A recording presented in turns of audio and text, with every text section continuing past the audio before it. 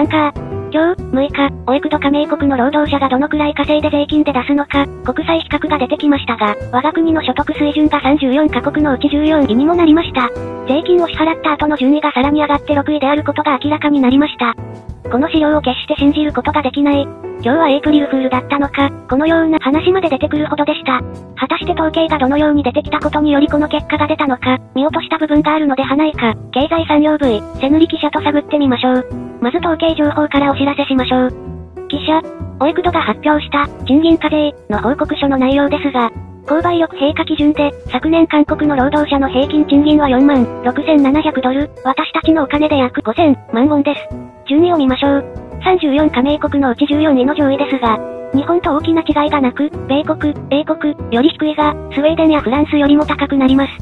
アンカー、フランスやスイスよりも賃金が多いのは、納得がいかない部分ですが、記者、ついていかなければならない部分が2つあるのですが、まず、この統計は購買力平価基準です。韓国は先進国よりも物価が低いです。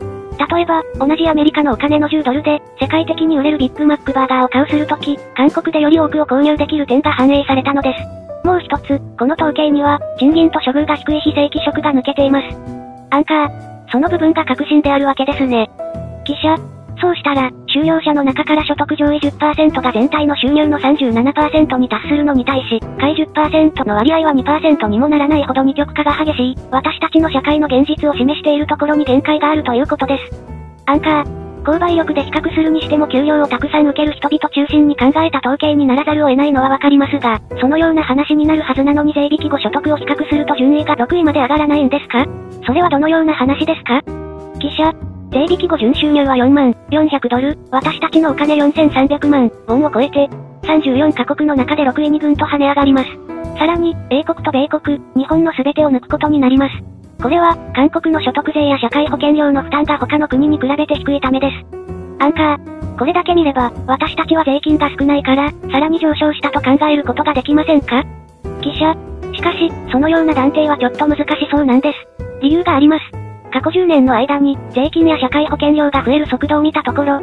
メキシコに続いて2番目に早かったんです。健保料と雇用保険料が10年の間、着実に上がった影響です。さらに増えた税金の分だけ福祉が大きく良くなったと体感することができないという問題もあります。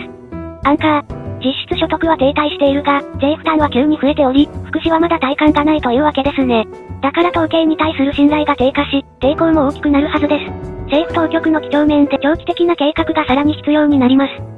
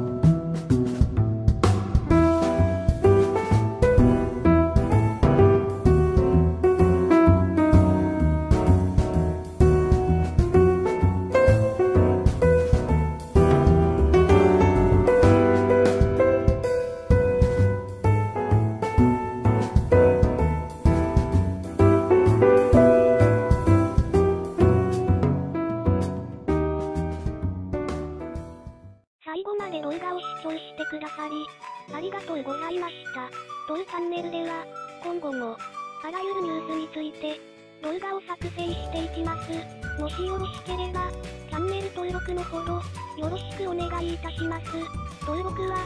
下の、チャンネル登録、ボタンを押してください。ありがとうございました。